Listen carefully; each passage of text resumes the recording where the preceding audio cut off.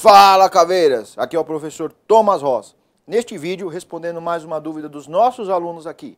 Professor Thomas Ross, policial civil pode acumular cargos?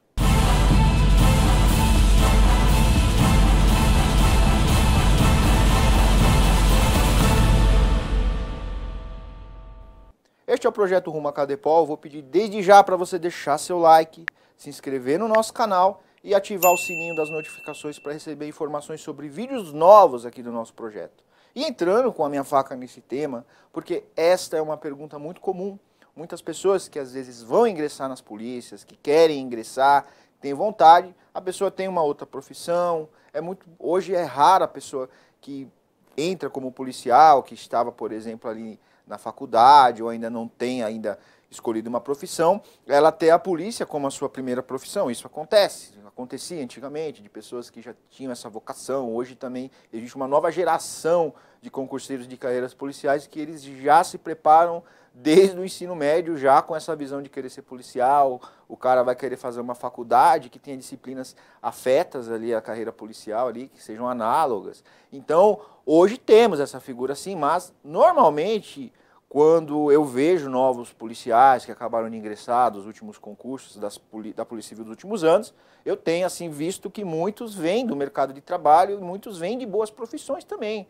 O que eu não conheci já de caras que eram dentistas, que trabalhavam na área da saúde também, como enfermeiros, e teve outros também que eram professores da rede pública, veterinário. Tem vários profissionais que já estavam atuando, estavam bem financeiramente, ingressam na polícia e aí fica aquela dúvida: pô, será que eu vou conseguir continuar exercendo aquela minha função, que às vezes me dá uma boa base financeira, me dá uma estrutura, e agora eu vou ser policial, vou ter que me virar só com o salário da polícia. E aí, professor Thomas, pode acumular cargo, pode ter outro trabalho também? Respondendo essas duas dúvidas. Primeiramente, na questão de cargo, por exemplo, o cara é professor da rede pública, professor, e ele passa como policial. Ele pode conseguir acumular esses dois cargos? Então, vai depender muito da carreira a qual ele escolher. Na Polícia Civil do Estado de São Paulo, nós temos muitas carreiras que são de nível médio. E o que isso implica em questões legais e jurídicas? A carreira de nível médico, por mais que às vezes ela detenha no seu nome a palavra técnico, pela lei ela ainda não é vista, não é entendido como técnico, porque pela lei técnico teria que ser uma carreira de nível superior. E ainda assim, a carreira como que exija nível superior, que tenha esse entendimento de que é uma carreira técnica, nesse caso pode sim existir o acúmulo com o cargo de professor e tem as questões também dos profissionais de saúde. Isso tem na Constituição Federal e para a polícia se aplica da mesma forma. Ou seja, se o cara optar por uma carreira de nível médio, legalmente ele não poderia ter esse acúmulo do cargo de professor. Nossa, professor Thomas, agora eu fiquei chateado porque eu tenho nível superior, mas eu passei para agente policial, que é nível médio, e eu ainda gostaria de exercer as minhas funções aí na escola, dá tempo, é compatível com a minha nova carreira policial, dá tempo de eu dar aula também e eu não posso, então? Então veja lá, isso acontece na prática, muita gente faz isso aí sim. E essas pessoas, elas acabam o quê? No final da carreira, quando a pessoa tem que começar a se preocupar com a aposentadoria, que não é o nosso caso aqui, nem o seu, que ainda está pensando em ingressar, mas aí já estou indo lá na frente.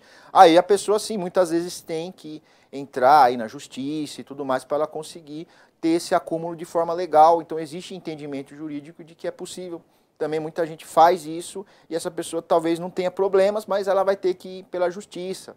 Já a pessoa que tem tá, ingressou, investiu numa carreira de nível superior, ela já não vai ter mais esse problema, porque a lei já está ali dizendo que tem o entendimento de que a carreira de nível superior é nível técnico. Então, legalmente, desde que haja horários, desde que seja possível, é claro, tem que ter anuência também aí da chefia, da polícia, a pessoa poder acumular o cargo de professor aí, digamos, num concurso público mesmo, professor de rede pública. Então isso pode, no caso de um policial. Nesse cenário que eu coloquei para você, não há nada que impeça. Isso poderia sim. Agora, na questão uh, que eu posso dizer de, por exemplo, professor de uma rede privada ou professor de cursinho mesmo, que nem o professor Thomas aqui, que é policial, e está aqui na Nova Concurso também, grava aulas e tudo mais. Isso pode? Então pode porque a lei orgânica da Polícia Civil, ela permite essa atividade relacionada ao ensino, à educação e à cultura. Então nem sempre a, toda a atividade que é relativa a isso, ela tem que estar atrelada a uma formalidade de uma questão de uma rede pública, o cara ser professor de uma escola pública ou particular. O cara, por exemplo, pode ser um professor é, de música, ou de fotografia, ou de qualquer outra área. Pode ser, o cara pode dar aula num curso técnico de mecânica, por exemplo, ainda assim ele está dentro dessa questão de educação, de formação. Então isso é possível para o policial ter esse acúmulo, mesmo numa empresa privada, que aí no caso não seria acúmulo, mas ele estaria exercendo uma função complementar, isso é muito comum. Quem não faz faculdade de direito sabe do que eu estou falando. Quantos e quantos policiais, delegados, às vezes, na maioria, são professores também em faculdades particulares de direito. Isso é muito comum. Então é uma forma que o policial tem de melhorar um pouco a sua renda dentro de um aspecto legal. Agora, se eu for falar de outros tipos de emprego, principalmente relativos à segurança, daí já começa a ficar um terreno mais perigoso para o cara policial ele acumular um outro emprego numa empresa de segurança privada, já que ele é policial, vou fazer segurança privada também. Ou fazer os famosos bicos. Nesse caso, muitos fazem mesmo, mas eles pagam assim para ver, porque se acontecer algum problema, alguma coisa, muitas vezes eles podem até perder alguns direitos aí como funcionários públicos, por estarem agindo de uma forma que não tem lei que os resguarde, que o tutele a fazer isso.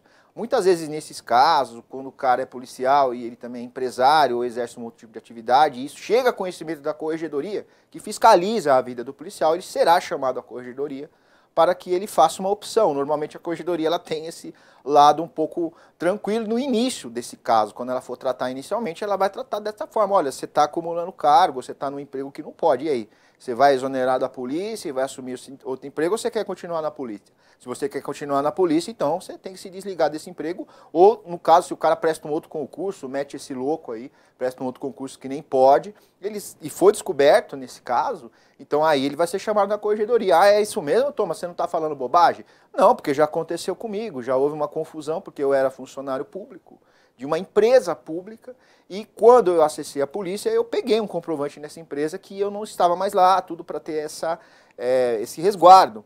E ainda assim, durante o meu estágio probatório, eu fui chamado lá, porque de alguma forma, não sei se esse documento foi extraviado, e eles estavam com essa dúvida se eu ainda estava exercendo alguma atividade na empresa pública, e junto com a polícia, eles me chamaram lá para falar: olha, se você ainda está aqui, você tem que escolher o que você vai fazer.